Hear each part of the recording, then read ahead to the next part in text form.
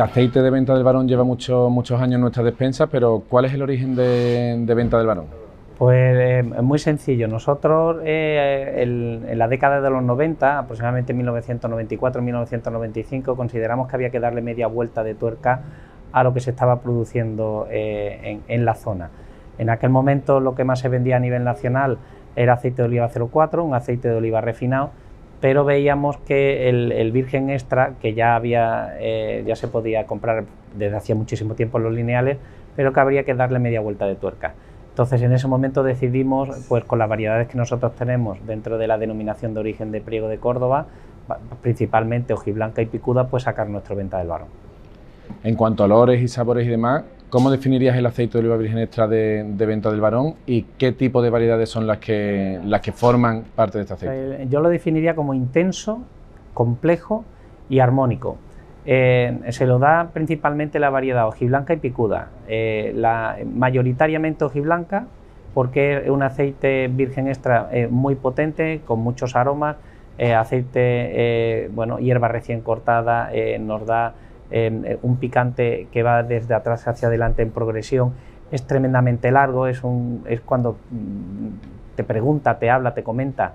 Eh, y, la manera en la que nosotros tenemos eh, de, producirlo hace que incluso a, final de la, de la, campaña todavía sea capaz de, mantener todo su aroma. Y aprovechamos el año en función de cómo haya ido la, la calidad de, la variedad picuda, pues aumentamos o disminuimos el porcentaje. En este caso, pues puede estar en torno a un 5 o un 15% de, variedad picuda. Es una variedad autóctona de la zona de, Priego de Córdoba, de difícil desprendimiento, pero que ayuda a complementar mucho el, eh, el ojiblanco.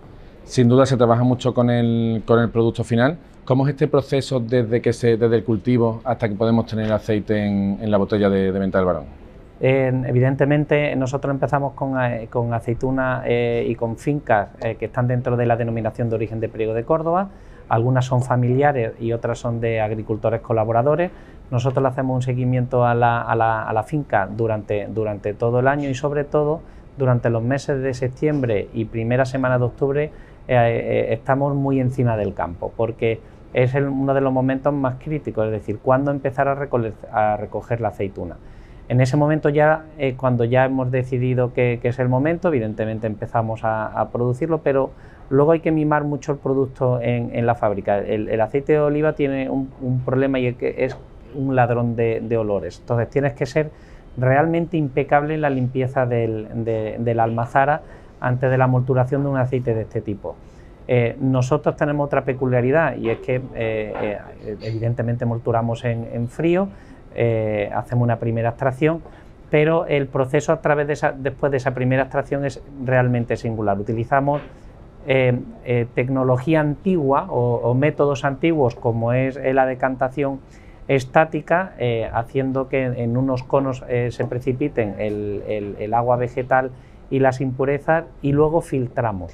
ese no es el proceso habitual que hemos tenido hasta la fecha decía habitual. Ahora se, bueno, se limpia el aceite con una centrífuga, pero nosotros quisimos dar un paso atrás con una decantación estática y un paso adelante filtrando el aceite a los 15 días de producirlo. Hablamos de aceitunas como de variedades como la picuda que, se crían aquí en, Córdoba. Estáis dentro de la denominación de origen de Priego. ¿Qué tiene este espacio que hace característico a este aceite frente, a otro tipo de aceite de oliva? En, vino se llama terroir. en este caso, eh, la denominación aporta un clima continental. Estamos entre 650 metros sobre el nivel del mar y tenemos eh, eh, olivares aproximadamente a 1000 metros. hace evidentemente calor en verano, pero tenemos un invierno donde nieva y, tenemos temperaturas bajo cero todo lo que tenemos dentro de la denominación de origen y lo que, con lo que producimos venta del varón es secano y son olivos eh, centenarios. Entonces todo esto ayuda, incluyendo evidentemente la climatología y, el tipo de tierra que tenemos, a sacar estos aceites de oliva virgen extras tan intensos.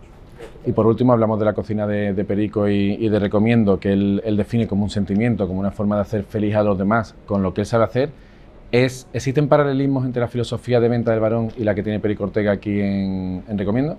Eh, total y absolutamente. a mí lo que me preocupa de, precisamente de, producir o de crear un aceite de oliva virgen extra es la consistencia. Es decir, en un momento determinado tú tienes un aceite de oliva virgen extra y eres capaz de sacar algo realmente espectacular eh, con el fin de que lo disfrute eh, alguien, con el, fin de que puedan mantener una charla distendida sobre ese producto o, sean capaces de, alegrar un plato con, nuestro aceite.